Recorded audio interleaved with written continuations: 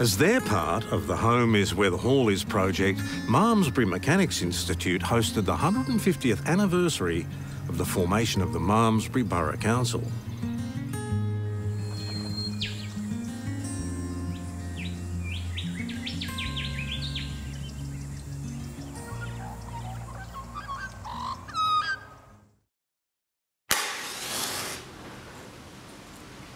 Originally, the project was just going to be a list. Then, when I started getting photographs and information about these men, I thought, no, I need to do more than just put a list together. These men have a story to tell, and yeah, that the project sort of snowballed from there. The book looks into the formation of the council, and then we researched all the men who had served as councillors for Malmesbury, looking at their lives, where they came from, where they ended up, what they did while they were in Malmesbury and other places.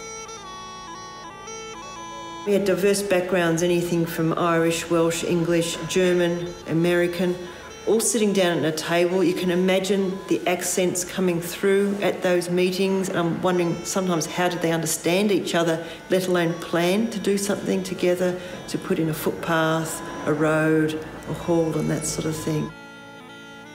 Although you can write about history, a picture tells so much more about a person. The photograph that was taken in 1901 of the councils outside the town hall, there's one man dressed in a white suit and almost looks as though he's come from the tropics from exploring the jungle. And you think, well, what sort of character did he have that he wanted to make his mark in that photo? I'm the one wearing the white suit, everyone else is wearing dark suits.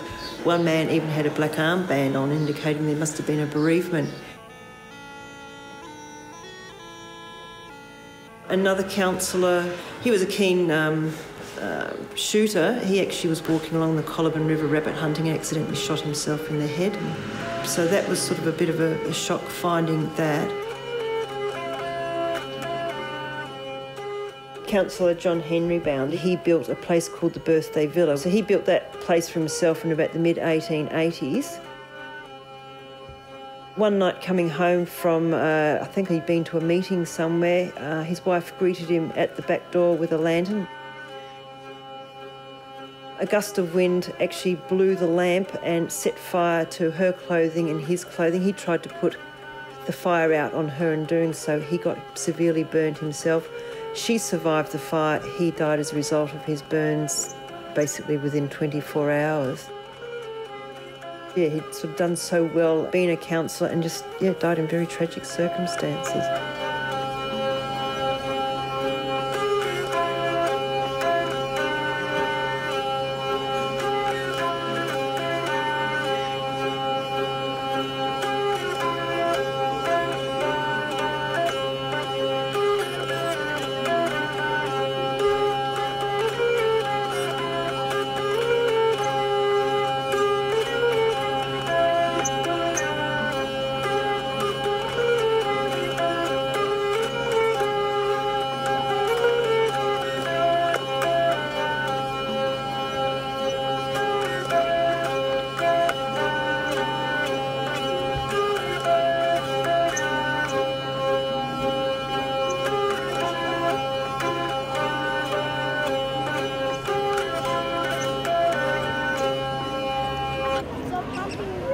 Old Jerry Clark.